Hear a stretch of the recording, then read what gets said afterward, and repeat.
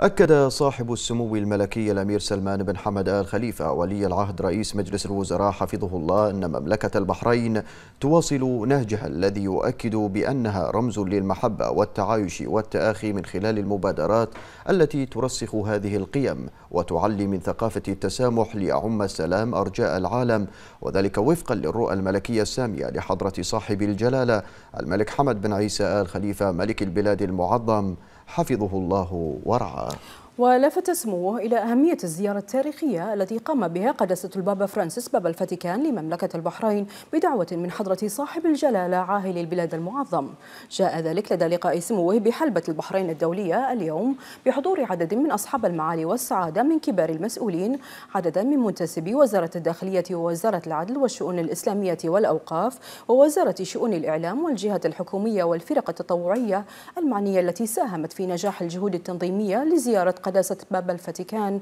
والفعاليات المصاحبة لها حيث نقل سموه لهم شكر وتقدير حضرة صاحب الجلالة الملك المعظم حفظه الله ورعاه على ما بذلوه من جهود تنظيمية موفقة خلال زيارة قداسة باب الفاتيكان. كما وجه سموه بهذه المناسبة تحية شكر وتقدير للجميع وقال سموه إن أبناء البحرين يواصلون بذل العطاء وتحقيق النجاح في مختلف الميادين بما لديهم من شغف لأن يكون التميز عنوانا دائما لعمل لعملهم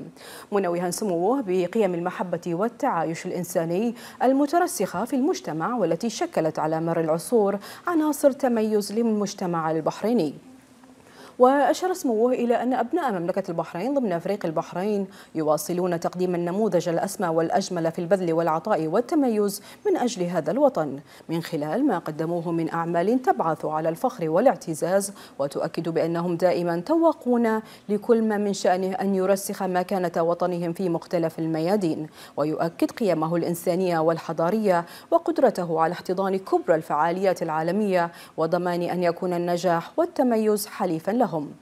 وقد أعرب الجميع عن شكرهم وتقديرهم لصاحب السمو الملكي ولي العهد رئيس مجلس الوزراء على ما تفضل به سموه من إشادة تشكل الحافز لهم لمزيد من البذل والعطاء مؤكدين الحرص على بذل كافة الجهود من أجل رفعة الوطن وتقدمه.